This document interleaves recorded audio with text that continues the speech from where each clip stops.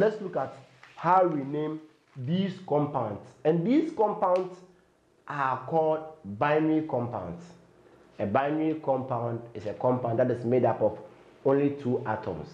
So, first and then the second atom coming together forms a binary compound. So, in our subsequent ones, there are, there are actually rules to name this. So, let's look at just if the rules to name binary.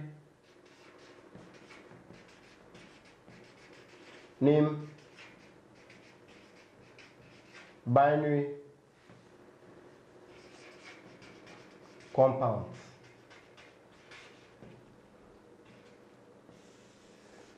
Because they are made up of two elements or atom coming together you realize that the first element is always a metal. That's a cation on the plus.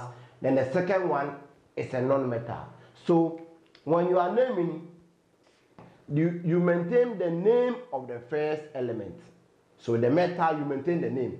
So maintain the name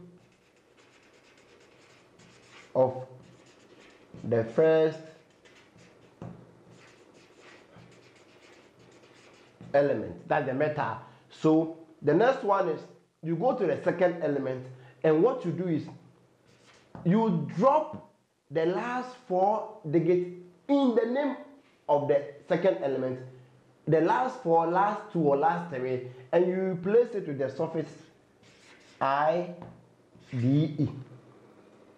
I d so you you are, you are maintaining the first name of the of the element you have it the second one is you keep the element, but you drop either the first four, so the last four of, or the last three, last two of the element name, the last name, then you replace with IDE.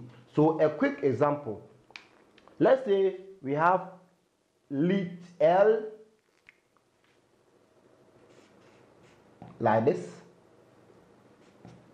Li is glass and then a chloride minus. Chlorine is this here. So this and then this they are the same. So it will form LiCl now the name of this is lithium because the you maintain the name of the first one. This is the metal lithium and this is chlorine. Here you drop the last three digits in chlorine. The last three digits in chlorine, that's the I-N-E. Then you replace it with I-D-E. So chlorine becomes C-L-A. So instead of lithium chlorine, it becomes lithium chloride. We can have several of them. Let's take magnesium. Magnesium and then chlorine. Magnesium is in group 2, so 2 plus is here. Chlorine is minus. So here I say we interchange. So you are going to get these two coming here, this one coming here, but the one we don't write. Don't don't forget that we don't add the charges. So here is MgCl2. Now this is magnesium. Just as start mag magnesium magnesium and this is chlorine so it becomes magnesium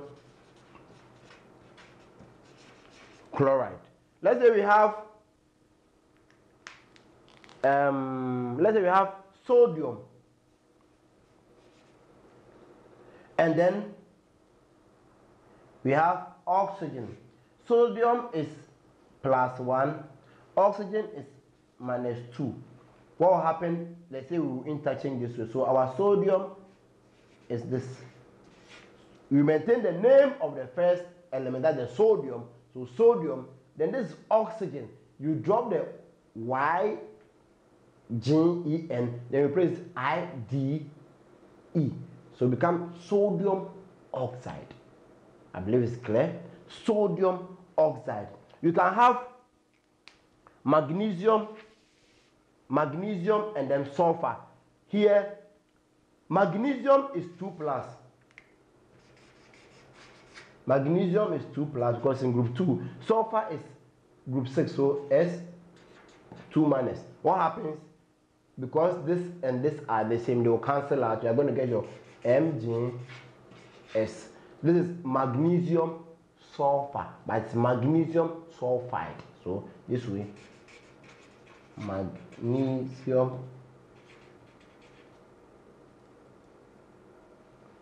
sulfide is, I believe it's clear.